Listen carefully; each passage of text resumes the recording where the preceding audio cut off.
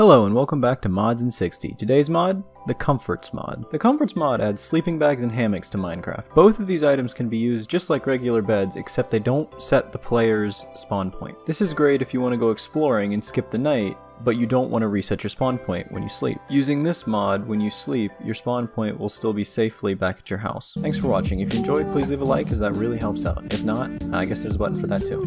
See you next time.